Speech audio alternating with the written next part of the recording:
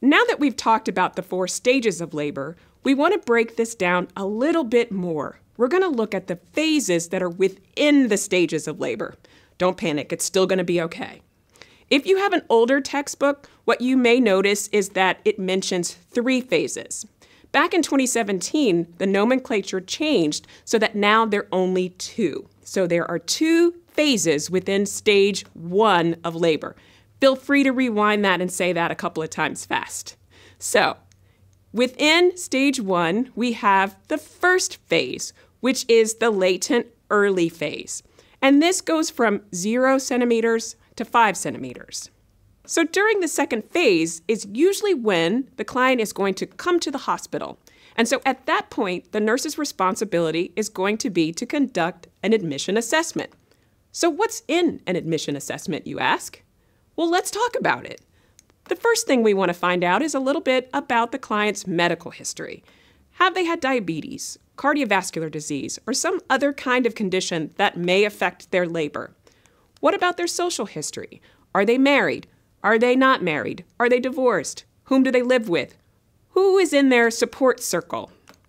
We want to talk about drivers of health because we know that social drivers and other types of drivers really can determine someone's experience in labor and definitely what happens afterwards. So we want to ask those questions.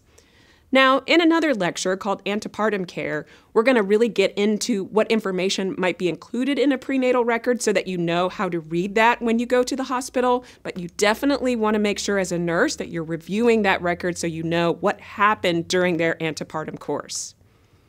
Clients also have a lot of say in what happens in labor who's in the room, um, whether a photographer comes, because I think that's the big thing now to take pictures in labor. So if a photographer is going to be there, are they going to have a doula?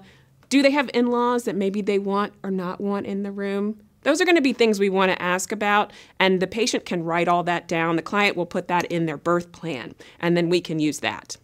And then what's going to be the plan for feeding the newborn? So that's the subjective information. Let's look at the objective information, so the assessments and the other interventions that we might make as nurses during the admission process. So, of course, we're going to take maternal vital signs. We want to know if the patient is stable, blood pressure, temperature. That lets us know if there's signs of infection or any other types of problems. We're going to learn in a few lectures about fetal heart rate tracing, so keep that in mind, but we definitely want to make sure the fetus is doing okay that's how we do sort of baby vital signs, so think of it like that. We're also going to check the cervix. So we're going to use our fingers and do an internal exam and figure out how dilated the cervix might be because that helps us determine where the patient is in labor. Finally, we're going to get some labs. So we want to know if the patient is stable in terms of their hemoglobin, hematocrit, platelets, white count. That gives, again gives us some information on how well the patient is right now.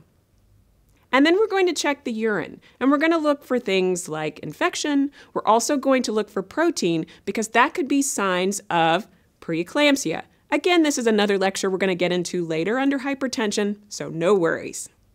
So we've talked about assessment during admission. What about the ongoing assessments that the nurse will make during labor? We're going to continue to check vital signs.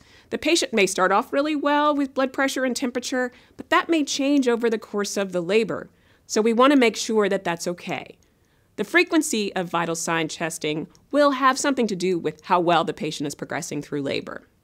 We're also going to check on the fetus. So remember, we have two clients, not just one. So we have to monitor the vital signs of the fetus. And we'll do that using the fetal monitor or we'll auscultate the fetal heart rate. Again, don't worry, there's a whole lecture about this. We also want to make sure the client is well hydrated. Some clients will have an IV, some clients will take PO or liquids by mouth. But as the nurse, we have to make sure the patient is well hydrated so that they can continue through labor. We also want to monitor the bladder. So, why do we monitor the bladder? Well, remember, the bladder is a big balloon, and the fetus is sitting kind of on top of that balloon. And if the balloon is full, the fetus can't come down. So we want to make sure that the bladder stays empty. So we're going to be checking in with the client fairly often, at least every two hours, to make sure that the bladder is not full and the fetus is not up here. What about other activities? What else can the nurse do to help this labor progress? First, lying on your back and not moving around is not very effective for progressing labor. So the nurse should encourage the client to move around. And moving around could look different depending on whether the client has chosen to use medication or not. So of course, if the client has an epidural and they can't move their legs, getting up and walking around is not going to be an option. But we can still change position in the bed. We can use a peanut ball or um, something like that to sort of help the client move. So don't think that just because they're not up walking that we can't encourage movement. Definitely want to do that. We also want to educate. So, as nurses, this is something we do naturally, but don't get caught up in labor and forget to talk to the client about what's coming next. We call that anticipatory guidance. We want to do that continuously because things are always changing. And think about how scary it would be to be in a new situation and you don't know what's going on. All the lights and the noises and the beeps and people coming in and out of the room, and you don't know what's going on. Laboring patients are not sick, so they're completely aware of what's going on. We want to make sure that we're doing a great job with education. And then we want to advocate for the family, for everybody, because they get a say. And so we want to be the voice. That's one of the things we do as nurses that make us the most trusted profession is that we can advocate for clients, and we do. Okay, let's see if we can remember all of the pieces that we just talked about and put it together. So, nursing management for first stage, we're going to explore the patient's plan for birth.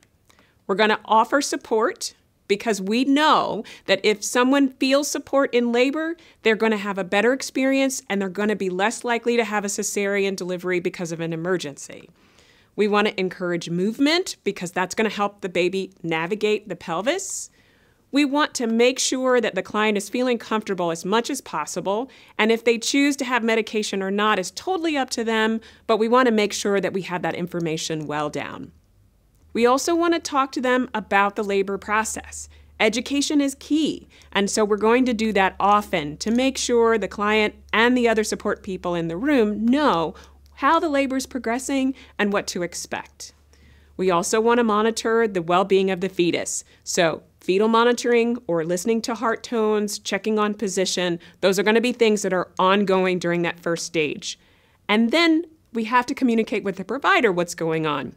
One of the things that's unique to nurses that are in labor and delivery is often the provider is not in the hospital. So, part of what the nurse has to do is make sure they're keeping the provider abreast of how things are going and when the baby might come or if complications come up, what they might need in order to have those addressed.